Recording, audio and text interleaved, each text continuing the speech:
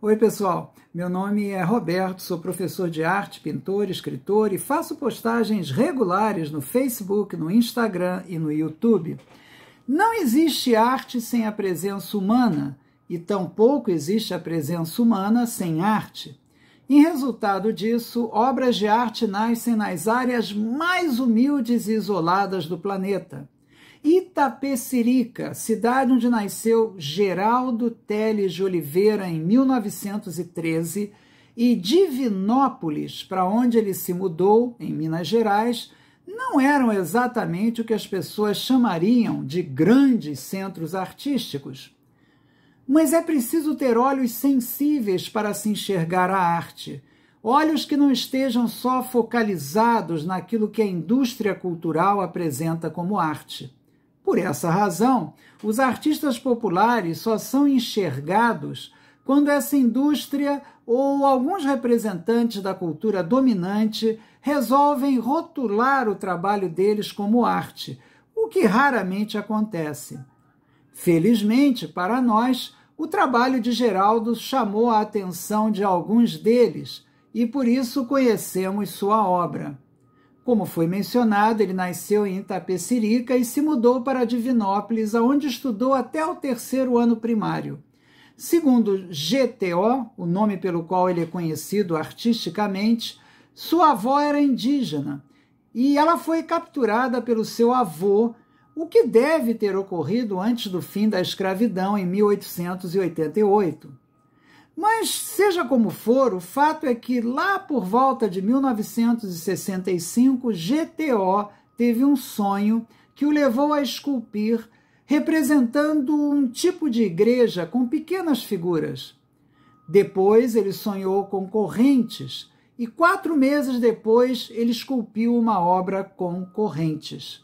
Segundo GTO, Deus lhe deu o sonho e lhe ensinou o que fazer mostrando-lhe inclusive a escultura completa, visto que GTO nunca havia trabalhado antes com madeira.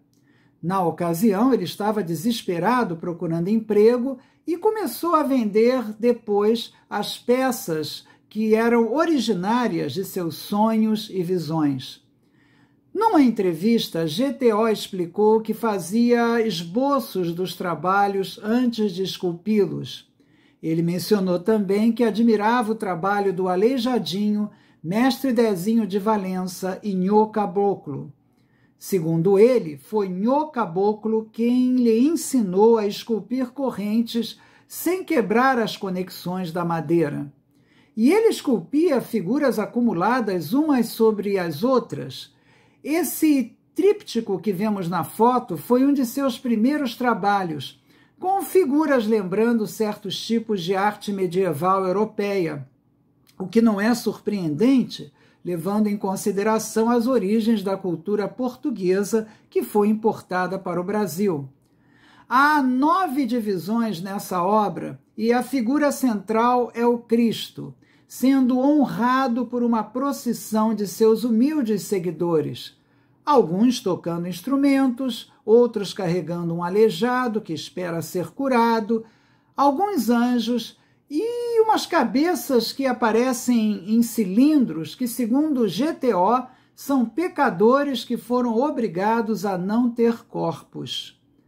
Trata-se de uma de suas obras criadas com um sentimento e uma convicção difíceis de se encontrar na arte religiosa das classes dominantes dos últimos séculos.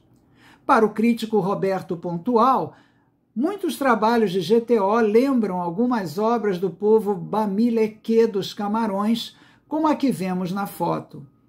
Mas na obra de GTO, como foi mencionado, é frequente a presença de uma corrente ou de correntes ligando os homens uns aos outros ou aos blocos centrais da madeira, com aparentes referências a indígenas ou negros escravizados e a cristos acorrentados. O encaixe de cada conexão da escultura é entalhado, formando uma peça única e maciça. Ou seja, são obras criadas sem uso de lixas ou máquinas elétricas, somente o material cortante. A figura humana é utilizada de forma esquemática e repetida dentro de estruturas geométricas como o retângulo e o círculo, explorando a alternância entre áreas esculpidas e os vazios com o ritmo conferido pela sucessão de figuras em suas obras. Os personagens possuem muitas vezes traços e indumentárias populares e também lembram ex-votos. O estilo de GTO passou a ser seguido por toda uma série de artistas da região de Divinópolis, em Minas Gerais. Mas o que significam exatamente as figuras de GTO, além daquelas relacionadas à religião cristã? Por exemplo, nessa foto vemos figuras acorrentadas, mas uma não está acorrentada? Seria um líder? Seria Jesus? Não sabemos. E essa outra obra? Será que GTO sugere que o ciclo da vida de nascer, envelhecer e morrer se repete infindavelmente, tendo como único significado a continuidade do mesmo ciclo? Ou seria talvez uma metáfora da humanidade avançando sempre, mas sem sair do mesmo lugar? E o que dizer dessa obra de GTO, que também aparece, aliás, nessa foto, e que ele disse ser um instrumento musical? Há sete figuras de pé, ao que parece são índios com cocares que possuem braços e pernas articuláveis. Quando um eixo de comando é movido através de duas rodas de madeira, as figuras sobem e descem em sequência, dançando incontrolavelmente, com os braços articulados se movendo. Segundo GTO, o barulho da peça com suas partes rangendo e chacoalhando, era o som de uma música. Naturalmente, podemos nos perguntar também se existe um sentido oculto nessa obra. Porém, a arte foi feita principalmente para ser desfrutada, não explicada. O mais provável é que a obra de GTO, especialmente em relação às correntes, simplesmente reflita a triste realidade da exploração dos povos originários e de outros grupos brasileiros dos quais ele descende, cujas histórias de escravidão ele deve ter escutado de seu avô e de outros parentes. Mas ele afirmou que esculpia porque suas visões o induziram a esculpir.